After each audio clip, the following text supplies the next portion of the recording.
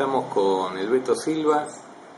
ya en los primeros días podríamos decir del 2015 y la idea era que nos cuentes como representante en Avellaneda de la política que va a llevar adelante Jesús Carilino, eh, cuáles son las expectativas, qué es lo que se ha estado hablando en estos últimos días, si hay un cambio en todo lo que ya venías anunciando y también te vamos a preguntar después algunas cuestiones que tienen que ver más que nada con la política local. Sí, bueno, buenos días, te agradezco la visita y en, principio nosotros continuamos en la misma línea, trabajando y desarrollando toda nuestra actividad en la provincia de Buenos Aires, eh, eh, construyendo esa posibilidad de que Jesús Cariglino sea el próximo gobernador de la provincia de Buenos Aires. Esto sigue marchando eh, por los carriles normales, eh, la decisión está tomada desde siempre y, la actividad sigue, sigue siendo y continuará siendo la, misma, hablando con todos los compañeros y compañeras de la provincia de Buenos Aires de todas las extracciones eh, políticas para tratar de ir sumando y tratar de ir construyendo esto paso a paso y ya estamos en el 2015, el año donde ya las definiciones van a ser más concretas y, por supuesto eh, eh, nuestra idea es de que Jesús eh, termine de desarrollar todos los acuerdos que tenga que hacer para ya salir a trabajar decididamente en esta candidatura. ¿Qué visión tienen ellos, o sea, Jesús y el equipo que le integran, incluido dentro de ese equipo también tu participación de la situación política de Avellaneda hoy a la fecha? Nosotros eh, en Avellaneda tenemos, como siempre, un gran compromiso de estar defendiendo las arbitrariedades que este intendente está cometiendo en contra de, los ciudadanos de Avellaneda. Eh, él está acompañando todas estas iniciativas, de hecho ha recibido eh, no hace mucho tiempo a, una delegación del Hospital de Wilde donde se comprometió con todo lo que representa para los trabajadores ese apoyo incondicional de parte de un hombre que tiene que va a tener mucha injerencia en lo que se viene en la política de la provincia de Buenos Aires. O sea que esa participación no es un entrometimiento como algunos lo quisieron hacer ver, sino que es como un adelanto de lo que va a ser la gestión de él. Sí, él no, de ninguna manera se, se va a entrometer en, la, en, las políticas, pero sí es un, es un hombre que va a trabajar por y para la provincia de Buenos Aires y por lo tanto Avellaneda al estar dentro de la provincia de Buenos Aires va a estar dentro de su ámbito de injerencia. Así que eh, esas este, apreciaciones de algunos no, no, no, no tiene sentido. Eh, además, eh, no es que él está directamente metido, sino que acá hay representantes, como en este caso me toca a mí, llevar adelante la defensa de, muchas cuestiones que tienen que ver con la acción o con la mala acción del intendente Ferraresi. Y lo que acá eh, se lamenta es que haya una participación directa de los concejales en las decisiones o en las malas decisiones que está tomando el Ejecutivo Municipal. Esto se ve claramente en el tema del hospital de Wilde, donde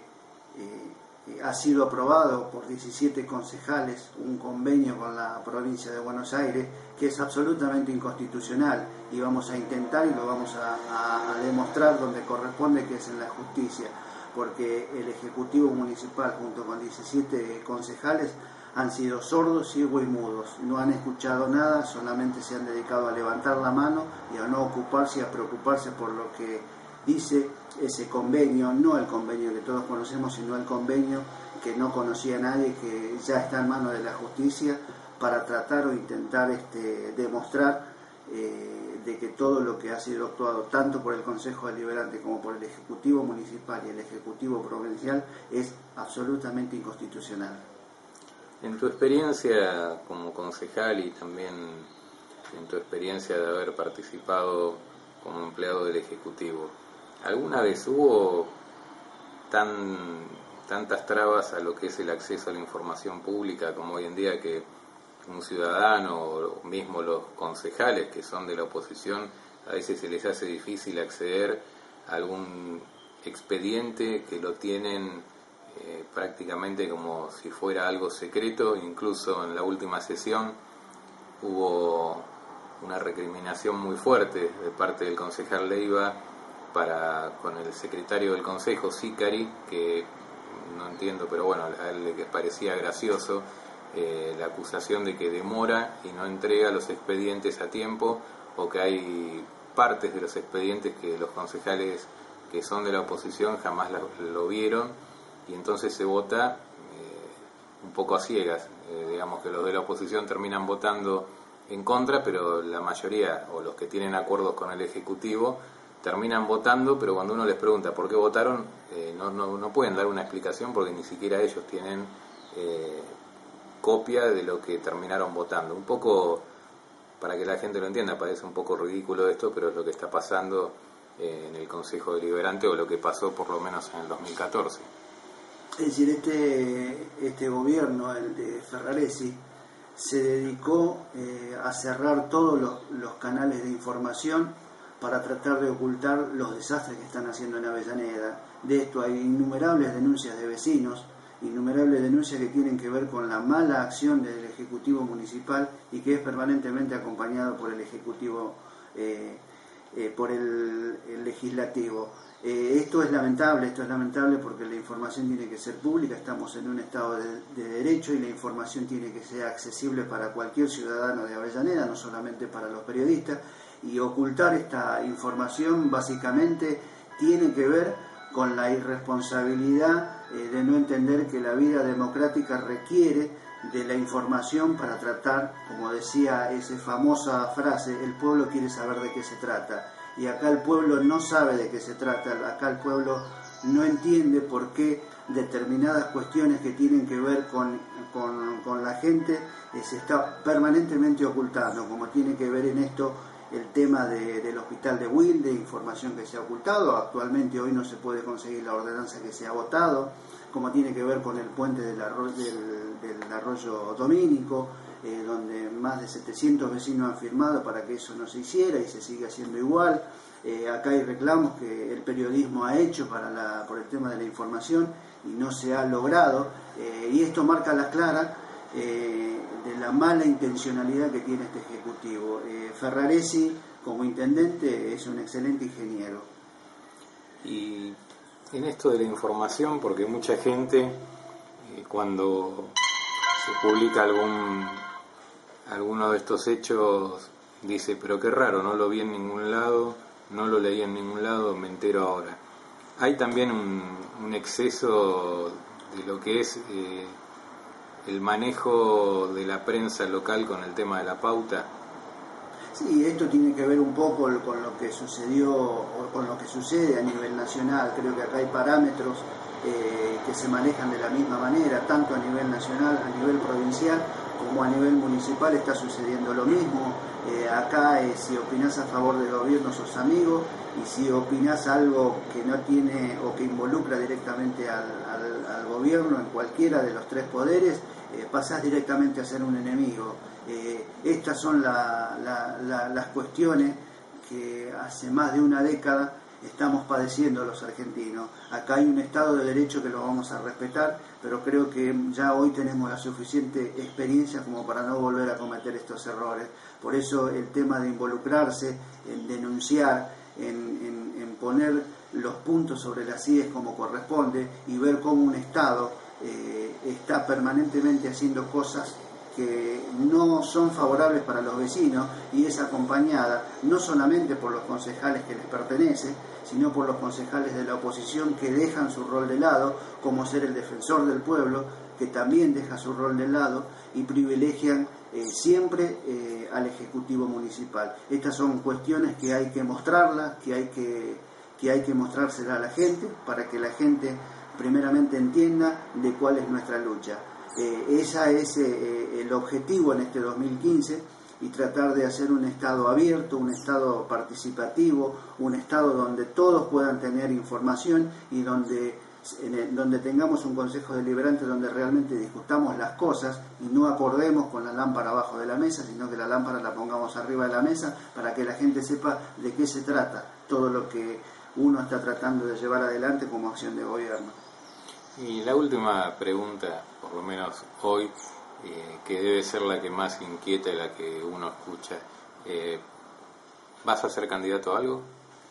Mira, eh, yo soy un militante, un militante toda mi vida he sido militante, he tenido y he ocupado cargos muy importantes y uno desde el momento en que está en la política es porque tiene aspiraciones a algo para tratar de modificar la realidad en algo. Por supuesto que a mí, como cualquier militante, nos gustaría estar ocupando el cargo máximo que es el de intendente, pero hoy estamos ocupados en construir una posibilidad donde todos unidos podamos eh, eh, sacar a este nefasto intendente que creo, ya hoy lo, reafirmo, es uno de los peores intendentes que ha tenido Avellaneda y los padecimientos que nuestra gente ha tenido son muchísimos. Eh, nos han vivido mintiendo, son una mentira y están permanentemente maquillando no solamente la ciudad, sino toda su acción de gobierno. Eh, hemos llegado al 2015 eh, y ya próximamente van a haber elecciones y yo voy a estar donde el proyecto al que represento acá en Avellaneda me, indique que tengo que estar. Eh, yo soy parte de un proyecto provincial y ese proyecto provincial se llama para nosotros Jesús Cariglino. Si yo tengo que ser candidato a intendente en Avellaneda por ese espacio, lo voy a hacer. Si tengo que ser el portero del edificio, también lo voy a hacer. Pero voy a tratar de construir la, posibilidad entre todos los sectores que, tengan que ver eh, con el cambio que estamos pretendiendo en nuestra ciudad. Bueno, queda claro que sos político y haces política, porque lo primero que se escucha siempre ah, está haciendo política, y sí, los políticos hacen política. Justamente ese es uno de los argumentos que inclusive el propio presidente del Consejo Deliberante, no, presidente del Consejo Deliberante, no, presidente del bloque de concejales del kirchnerismo dice que eh, criticando a los médicos que los médicos hacen política. ¿Cuál es el problema que los médicos eh, o cualquier ciudadano haga política? Si, estamos en un Estado democrático, porque justamente los médicos en este caso hacen política porque hay una política que no está funcionando. Entonces obligan a quienes tienen otra profesión a insertarse dentro de la política para tratar de modificar la pésima política que él defiende y que está llevando adelante el intendente.